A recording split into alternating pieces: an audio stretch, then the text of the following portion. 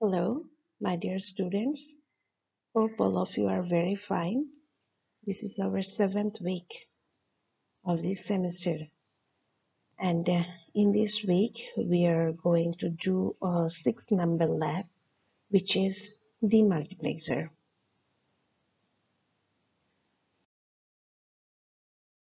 This week, we are going to build a demultiplexer using Logisim. Now, I would like to um, discuss about what is demultiplexer and its very basic things. Now, uh, demultiplexer is a combinational circuit which performs the reverse operation of multiplexer. Uh, we already know that in case of multiplexer, we uses total 2 to the power n inputs, maximum 2 to the power n inputs and we get uh, in output. But in case of demultiplexer, uh, it has single input. That means n selection lines and a maximum of 2 to the power n outputs, which is the reverse of uh, each other's. The input will be connected to one of these outputs based on the values of the selection line. That means uh, there are n selection lines. There will be 2 to the power n possible combinations of zeros and ones. So each combination can select only one output. Demultiplexer, uh, sometimes called demux.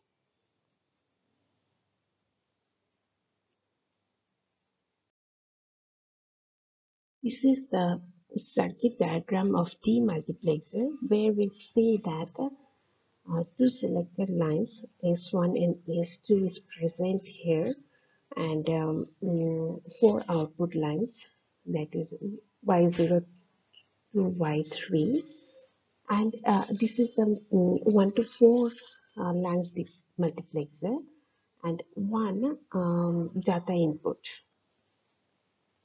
Okay uh, now uh, let me explain the truth table mm, as it is a 1 to 4 line demultiplexer it uses two selected lines um, S1 and S2 to determine which one of the four outputs that means Y0 to Y3 is routed from the input I.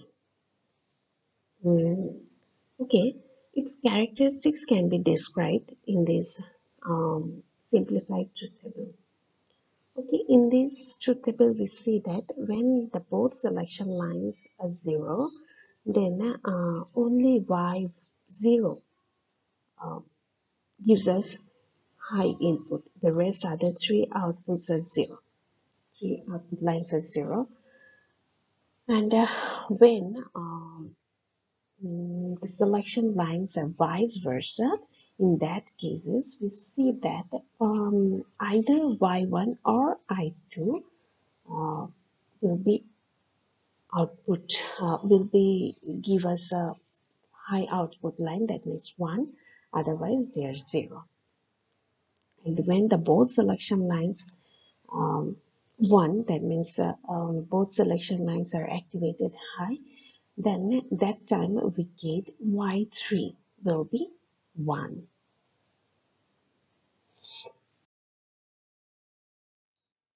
Okay, now uh, there are some question arises in case of demultiplexer. Um, before that, I would like to tell something. Uh, the very important notes for demultiplexer is that um, always change the selection inputs.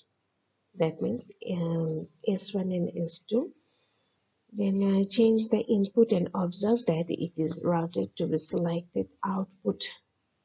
That means Y0 to Y3. And then uh, finally, larger uh, demultiplexer can be constructed by changing smaller demultiplexer together. Mm, that means we can uh, um, is a 1 to 4 DMUX uh, circuit and we can build a 1 to 8 DMUX circuit uh, very um, easily. Okay, now, uh, now I would like to discuss about the basic questions about demultiplexer. Now, first question is uh, which circuit has a demultiplexer? Actually, demultiplexer are mainly used in Boolean um, function generators and decoder circuits. Different input or output um, configuration demultiplexers are available in the form of single integrated circuits. Also, the facility of cascading two or more uh, integrated circuit helps to generate multiple output demultiplexer. The next question is, what is the use of demultiplexer? Uh, actually, the multiplexer is used to connect a single source to multiple destinations. This means that the main application area of the multiplexer is communication system where, the, uh, where multiplexer are used. Most of the communication system are bidirectional. That is, they function in both ways, uh, which means that transmitting and receiving signals. And the third question is, what is the difference between multiplexer and demultiplexer? Uh, actually, there are lots of differences between multiplexer and demultiplexer, but in uh, this slide, uh, I would like to discuss the main difference between multiplexer and demultiplexer. A multiplexer is a combinational circuit that provides single output but accepts multiple data inputs. And in case of demultiplexer, it is a combinational circuit that takes single input but that input can be directed through multiple outputs. It has multiple inputs and one output. It has one input and multiple outputs.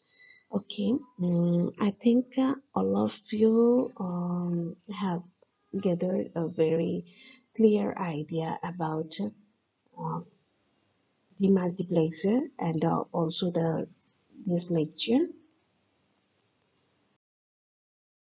Yeah, thank you all uh, for this week and hope all of you understand.